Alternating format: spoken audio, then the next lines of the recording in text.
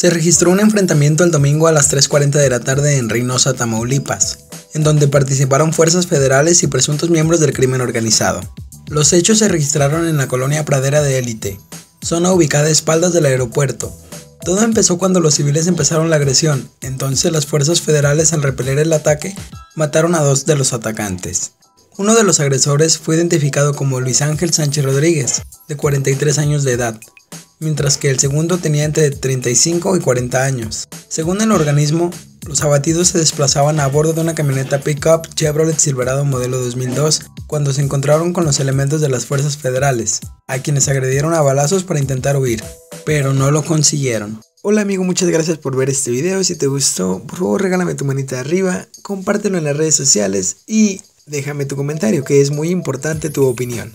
Si tienes cuenta aquí en YouTube, no olvides suscribirte para que te lleguen mis videos hasta tu bandeja de correo electrónico automáticamente. No te pierdas ningún video de raza de la web.